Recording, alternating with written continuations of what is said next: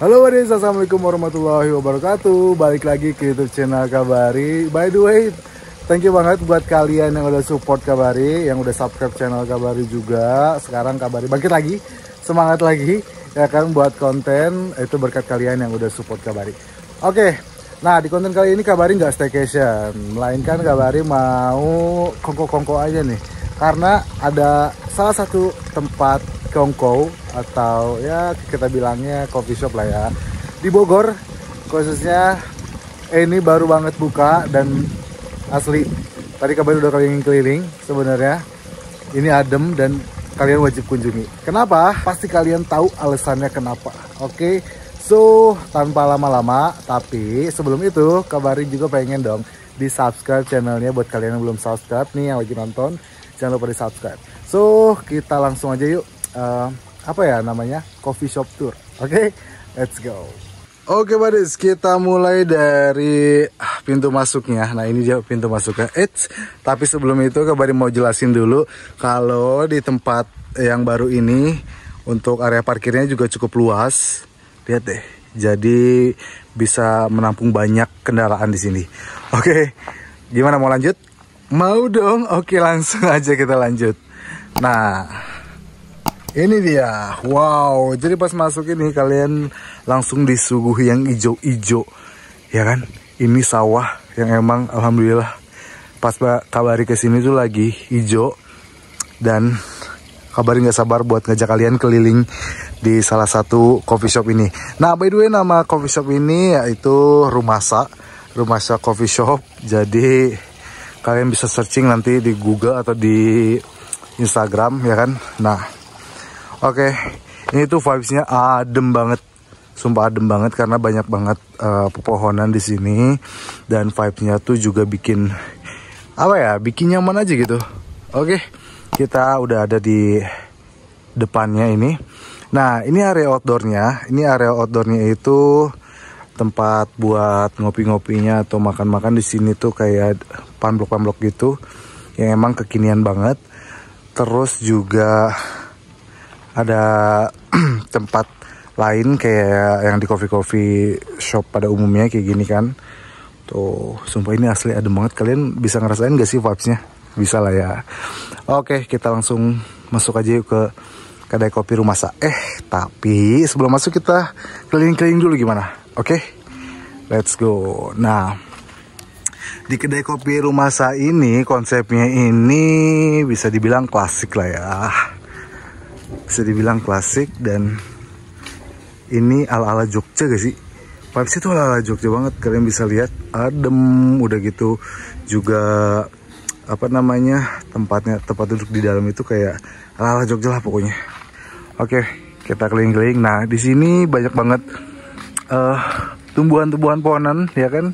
Pepohonan juga di pohon ya dominannya lebih ke sawah sih ya.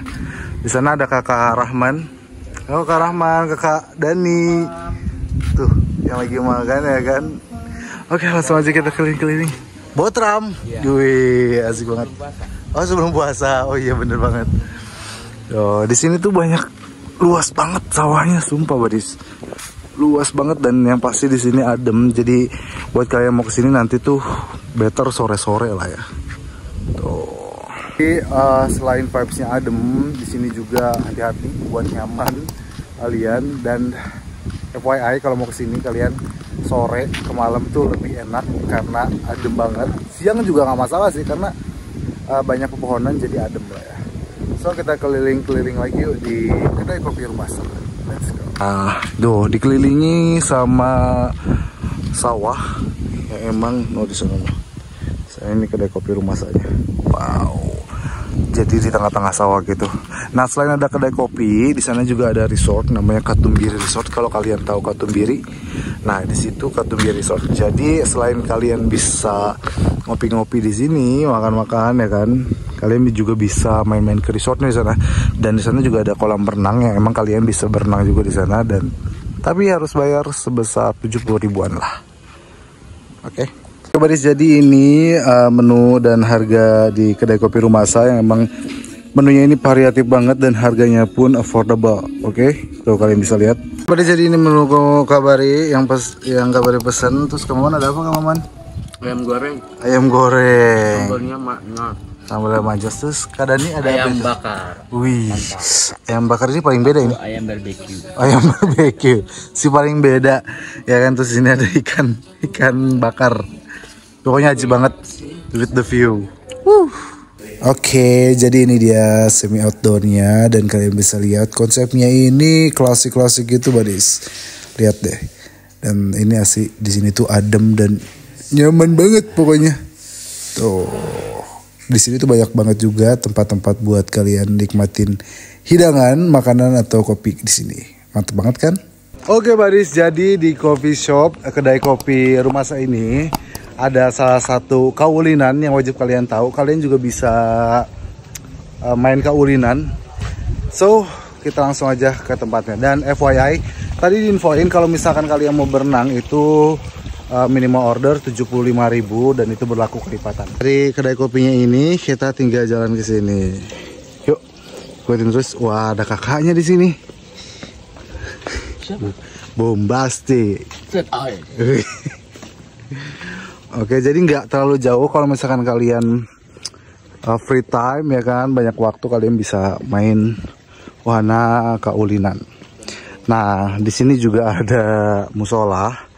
Ya kalau misalkan kalian mau beribadah kalian bisa. Oke. Yuk, kita keliling-keliling. Di sini juga masih luas banget tempatnya. Nah, itu dia kolam renangnya. Jadi kalau kalian ya uh, selain nongkrong mau berenang-berenang di sini bisa santai. Jadi di sini juga selain ngopi dan berenang bisa apa kak tadi? Bisa wedding di sini, bisa wedding buat acara-acara lamaran juga bisa. Sebenarnya di sini banyak eh, acara juga bisa karena luas banget. Berapa luasnya? Kita mencakup di 8 hektar. 8 hektar kak. Bombastis set air. Luas banget. Tuh. Sini juga masih ada sawah-sawah.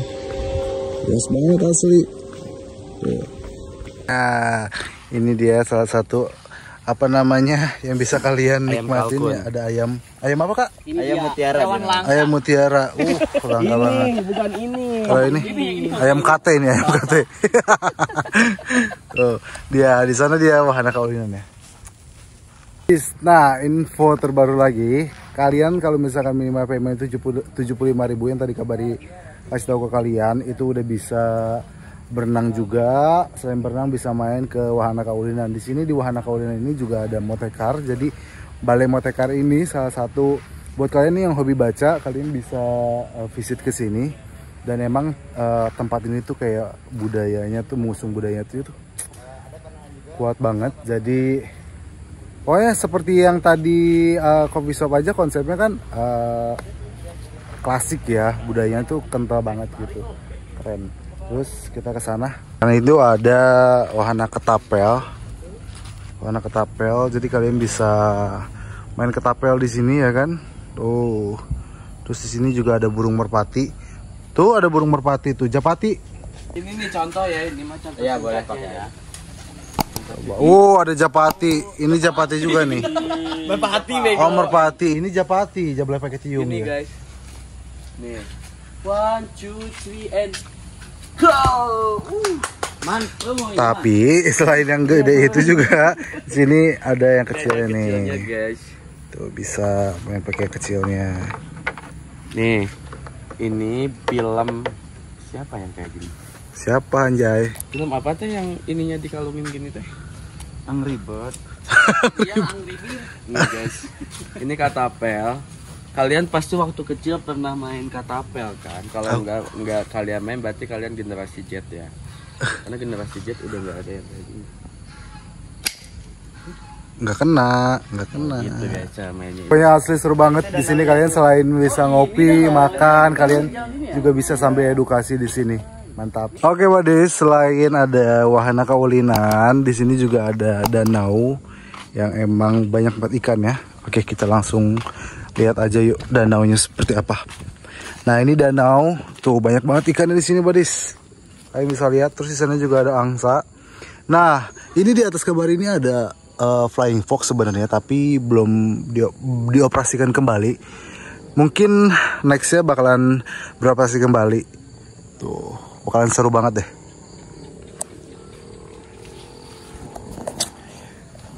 Segitu aja video kali ini. Semoga kalian terhibur dan juga uh, menjadikan kedai kopi rumah saya ini salah satu rekomendasi uh, ya tempat hangout, tempat ngopi bareng teman atau bareng keluarga yang pasti ini wajib banget di list dan masuk uh, list kalian untuk akhir pekan nanti bingung mau ke mana.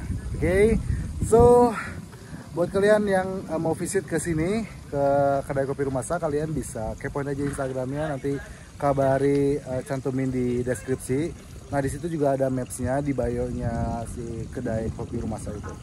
So thank you buat kalian yang udah nonton. Jangan lupa di support terus channel Kabari, di subscribe, di like dan juga di komen. Dan jangan lupa juga di share, oke? Okay? So thank you dan see you next video.